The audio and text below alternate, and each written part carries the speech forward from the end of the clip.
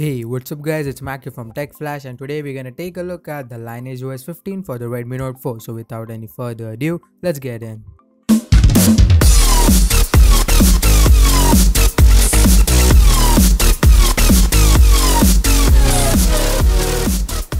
So before we proceed any further in this video, make sure you have installed the latest version of the TWRP and copied the ROM as well as the GApps to your phone.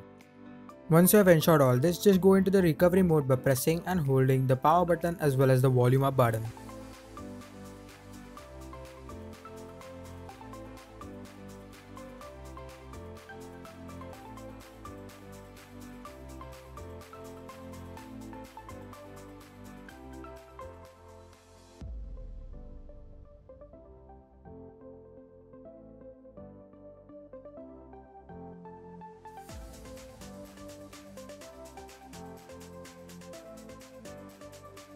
Once in the TWRP, go into the wipe, then go into the advanced wipe and then select Dalvik ART cache, system, data. Do not select the internal storage or the micro SD card depending upon where you have copied the ROM and the GApps and then select the cache and then swipe on swipe to wipe. So here we can see the wiping has been successfully completed. Then go into the install tab. Then navigate to where you have copied the ROM and the GApps. In my case it is into the internal storage itself we can see here the Lineage OS and the GApps. Now select the Lineage OS and then swipe on swipe to confirm the flash. So now the TWRP is flashing the Lineage OS 15 onto my phone and it takes about like a couple of minutes or so to do that. Once the installation of the ROM is successfully done, then again go back and then select the GApps and then again swipe on swipe to confirm the flash. So now the TWRP is flashing the open GApps. Make sure that you download the GApps for the Android Oreo 8.0 and not any other versions because they will not work as the Lineage OS is based on the Android Oreo 8.0. In my case, I'm using the micro package. You can select any other that you want. Once the installation of the GApps is done, then tap on reboot system. You will be asked if you want to install the TWRP app or not. It is upon your choice. And now we should be booted into the Lineage OS ROM.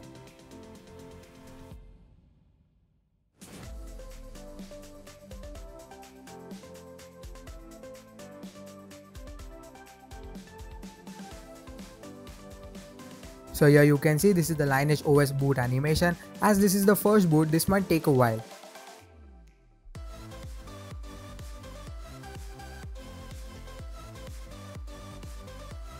So this is the startup screen that we get with the Lineage OS and you can select the language which you want here directly. And then I'll just quickly go into the vision settings and then set the display size to the different one. So I'll just quickly set it to small because that's what I like. Then you can also set the magnification and font size at the startup itself.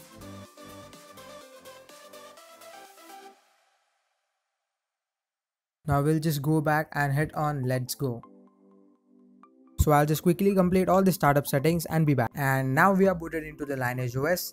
So here you can see onto the notification panel. So going to the top, you can see the VoLTE and the Wi-Fi and the Bluetooth is working. You can turn these settings on and off from this new quick access panel. So this is the latest quick access panel that we get with the Android Oreo 8.0. So these are all the quick settings that we are presented with. You can edit them by pressing onto this edit button and just drag the settings that you want on this quick access panel.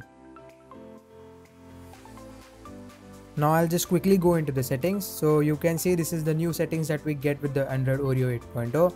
So I'll just quickly go into the system and then quickly go into the about phone. Here we can see the model name is Redmi Note 4, Android version is 8.0.0. I'll just quickly tap on this and show you the Oreo animation.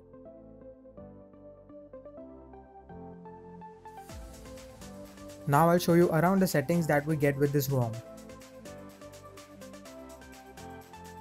So here we have some suggested setups like Google Voice and all.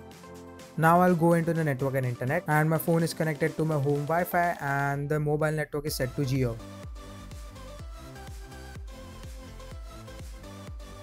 In the connected devices, you will get the information about the connected devices to your phone. I'll just quickly show you that the Bluetooth is working and I'll quickly turn it on and in the notification there is a Bluetooth icon so that means the Bluetooth is working. In Cast, if any cast devices are connected to your home Wi-Fi, it will show them up there. Then I'll just quickly go into the apps and notifications Here you can set the notification, app permissions and all. It will show you which of the app has access to which of the permissions. Now going into the battery, it's currently at 83% and it is showing about 10 hours are left. In power management, we get the battery saver mode. If you turn this on, it will save the battery.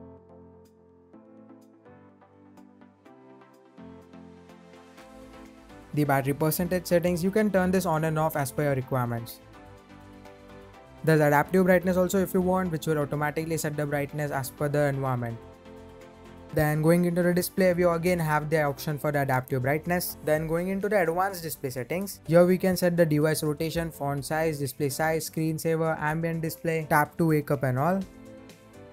I'll just quickly lock my phone and check if the double tap to wake up is working or not. So the double tap to wake up is working on this ROM.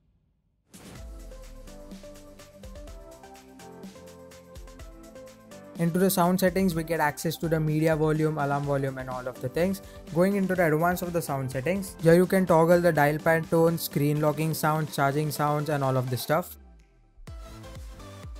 Now going into the storage settings, as I didn't format the internal storage, it's showing that 20.6 GB is used out of the 32. The storage manager is also there, you can manage all of the storage from here. Now I'll just quickly show you around the camera app that we get with this ROM. So the camera is working pretty smoothly on this ROM. Let's just quickly go into the settings of this camera app. In resolution and quality, the front and the back camera apps are set to the full pixels. In video settings for the back camera, we have options for the Ultra HD 4K, 1080p and 720p. And for the front cam, we have 1080p, 720p and 480p options. With Android Oreo 8.0 installed on the Redmi Note 4, we get all the sweet animations of the ROM and these are some of the minor changes. So now I have installed the Pixel Launcher for this ROM and I'll be providing a link to that also in the description. So the Google Now is working and you can also set up the Google Assistant if you want. I'll just quickly show you that the ambient display is also working. There we go. So this is a pretty stable ROM and you can use as a daily driver if you want. I will be making a full review of this ROM after using it for a week or so. So that's pretty much about this video guys. Give it a thumbs up if you liked it and I'll catch you guys in the next one.